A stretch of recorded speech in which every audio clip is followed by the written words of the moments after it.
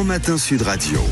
La vie en vrai. La vie en vrai, alors l'uniforme à l'école est la Marseillaise. Certains établissements l'appliquent déjà. À quoi ça sert vraiment? Ben, Nous sommes avec euh, euh, quelqu'un qui, euh, qui l'applique. C'est François Denis B, qui est directeur d'Espérance banlieue. C'est un, réseau d'établissements en, banlieue, dans les quartiers prioritaires. Je crois qu'il y a 17 écoles, hein, c'est ça? Bonjour. Bonjour. Oui, euh, des, écoles où vous accueillez euh, des élèves de la maternelle à, la troisième. Vous, vous l'appliquez déjà justement euh, à la fois l'uniforme et la Marseillaise ou, simplement l'un ou l'autre? Tout à fait, nous appliquons les, deux. les écoles Espérance banlieue, effectivement, comme vous le dites, sont sont implantés dans, dans les quartiers prioritaires. Mmh. On est présent de, de Roubaix jusqu'à Marseille et nos, nos, 17 établissements qui existent depuis maintenant une dizaine d'années euh, utilise parmi les moyens pédagogiques effectivement à la fois le, port de la même tenue, le port de l'uniforme, euh, et d'autre part, euh, effectivement, nos élèves connaissent et chantent la Marseillaise ainsi que, que l'hymne européen. Oui, pas tout. Ah, bon, d'accord, les deux. Pas tous les jours quand même la Marseillaise à l'école. non.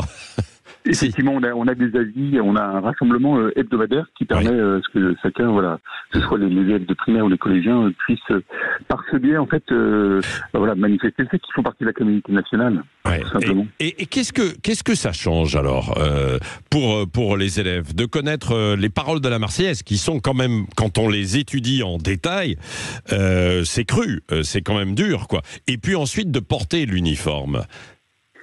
Alors le, premier point, le, le port de l'uniforme, parce que c'est vraiment le quotidien euh, de chacun de nos élèves. En fait, c'est une fierté pour nos, nos élèves. C'est un élément qui permet euh, de, de, manifester une appartenance à un groupe, donc le groupe de classe, le groupe de, de l'école, et euh, c'est une fierté. L'uniforme qui leur est remis après quelques jours euh, après la, la, rentrée scolaire, une fois que chacun a bien compris les règles de fonctionnement de, l'école où il est, mmh. euh, ben, dire voilà, on est solidaires ensemble. Et puis le point le plus important, c'est c'est ça qu'on vise par l'uniforme, c'est de faire en sorte qu'on s'intéresse à la personne plus qu'à euh, ce qu'elle dégage physiquement. Et donc euh, c'est en fait progressivement les élèves comprennent que euh, l'intérêt que portent les professeurs à leur personne, elle est vraiment due à leur personnalité et qu'on compte sur les, accompagner dans, dans, dans, le meilleur de ce qu'ils sont. Oui. Dans, dans, dans le dans l'uniforme, est-ce que c'est un uniforme, euh, euh, j'allais dire, en, assez traditionnel, ou c'est par exemple pour les pour les garçons comme pour les filles, ou peut-être qu'il y a une différenciation, mais un jean et puis euh, des, des t-shirts et il y a une panoplie des t-shirts ou des pulls et il y a une panoplie de, de, de couleurs? Ah, effectivement, la tenue que, que chacun a, donc pour les, nos élèves de, de primaire, c'est un polo blanc et puis un sweatshirt de couleur. Ouais. Et pour nos élèves collégiens, c'est une chemise blanche avec un, un, un pull gris, donc qui va progressivement vers des codes qui sont plus les codes des adultes.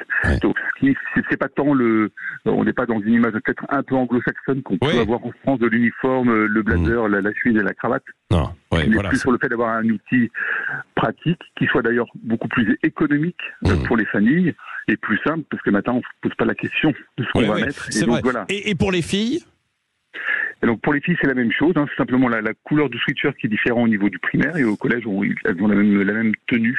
D'accord. Voilà. Mais il n'y a pas obligatoirement des jupes ou des, ou des robes, ça peut être des pantalons Non, Ouais, Dans notre voilà exactement, on a une, uniformité sur le pantalon, c'est pas la, jupe qui, qui, qui, fait partie de l'uniforme. Mais en fait, ça met un, un, aspect très pratique et un, un, aspect qui donne une unité et un corps à, à l'ensemble de l'école. Oui. D'où viennent euh, les, les, les, enfants dans vos dans vos écoles, François Denis B, dans le dans le réseau euh, Espérance? De quel milieu?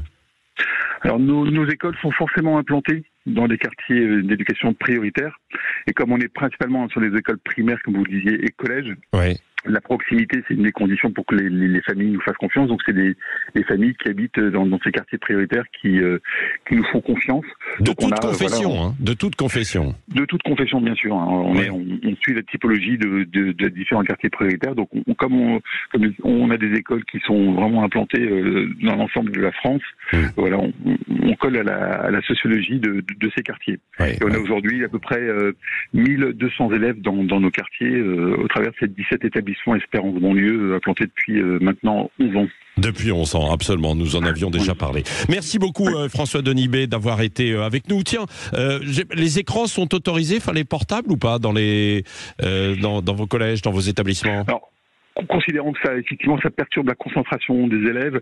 Euh, lorsque les élèves arrivent, pour ceux qui en ont, on, récupère leur, téléphone qu'on leur rend en fin, de, en fin de journée scolaire. En fin de journée scolaire. Non, bah parce que c'est bon à savoir, dans un quart d'heure, on va s'interroger sur euh, le temps passé de, devant les écrans pour les enfants. Il y a un groupe de travail euh, qui doit rendre ses conclusions d'ici le mois de mars. Il est 6h42 minutes. Bon réveil sur Sud Radio et peut-être sous de la neige pour certains.